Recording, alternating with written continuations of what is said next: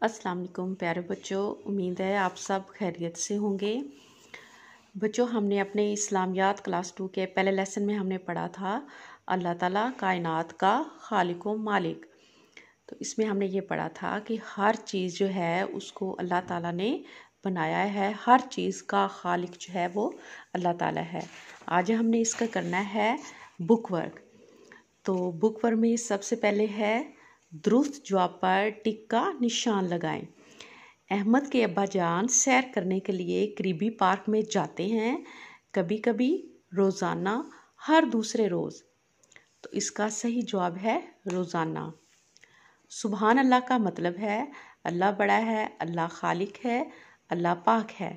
تو اس کا صحیح جواب ہے اللہ پاک ہے۔ احمد کی چھوٹی بہن کا نام ہے آمنہ۔ فاطمہ، خدیجہ۔ تو صحیح جواب ہے آمنہ۔ احمد کے ابا جان نے خوبصورت چڑیا کو دیکھ کر کہا، الحمدللہ، اللہ اکبر سبحان اللہ تو اس کا صحیح جواب ہے سبحان اللہ اب ہم نے کرنا ہے بائنڈر پہ کام۔ آپ سب سے پہلے ڈیٹ اینڈ ڈے مینشن کریں گے، جماعت کا کام لکھیں گے۔ اور سبق نمبر ایک اور عنوان رائٹ لکھیں گے، اللہ تعالیٰ کائنات کا خالق و مالک۔ اس کی آپ نے کرنی ہے خالی جگہ پر کریں۔ احمد کے ابا جان صبح اٹھ کر ڈیش ادا کرتے ہیں، نماز فجر۔ احمد کے ابا جان صبح اٹھ کر نماز فجر ادا کرتے ہیں۔ سب چیزوں کا خالق ڈیش ہے، اللہ۔ سب چیزوں کا خالق اللہ ہے۔ جو لوگ اللہ تعالیٰ کا حکم مانتے ہیں، اللہ تعالیٰ ان سے ڈیش ہوتا ہے، خوش۔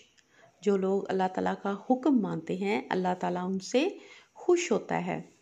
دنیا کا نظام ڈیش کا پابند ہے، وقت۔ دنیا کا نظام وقت کا پابند ہے۔ اب ہے غلط درست فکرات کی نشاندہی کریں۔ صبح کے وقت پارک کی فضا بہت گندی تھی۔ تو یہ کراس ہے، اسے غلط بات ہے۔ صبح کے وقت پارک کی فضا بہت اچھی تھی۔ سبحان اللہ کا مطلب ہے، اللہ پاک ہے۔ یہ بالکل صحیح بات ہے۔ ٹک کریں۔ کائنات کی ہر چیز اللہ کے حکم کے تابع ہے۔ یہ بھی صحیح بات ہے۔ ٹک کریں۔ انسان کے لیے اللہ کو حکم ماننا ضروری نہیں ہے۔ تو یہ غلط بات ہے۔ انسان کے لیے اللہ کا حکم ماننا ضروری ہے۔ اس لیے ہم اسے کراس کریں گے۔ اللہ تعالیٰ ہر چیز کا پیدا کرنے والا ہے۔ یہ بالکل صحیح بات ہے۔ اچھا بچوں، یہ ہو گیا ہمارا آج کا کام۔ اب آپ نے یہ جتنا بھی ہم نے یہ کیا ہے، یہ سارا آپ نے بائنڈر پہ ٹو ٹائم رائٹ کرنا ہے، دو دفعہ لکھنا ہے اور اس کے بعد اسے اچھی طرح سے یاد کرنا ہے۔ اور مجھے بتانا ہے آپ نے کہ آپ نے کیا یاد کیا اس کا۔